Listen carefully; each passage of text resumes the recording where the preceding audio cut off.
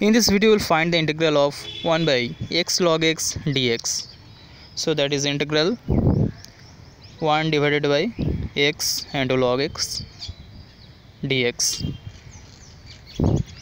We can write this term as that's equals to integral 1 by log x into 1 by x dx. Okay.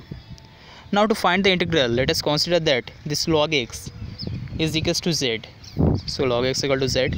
Now differentiating on both sides we get 1 by x dx equals to dz. Now put the value of log x in that case that is 1 by z and the value of 1 by x dx is that that's equals to dz. So dz. Now that's equals to integral dz by z obviously the integral of dz by z is log z plus a constant of integral that is c. Now I have to put the value of z there that is log x.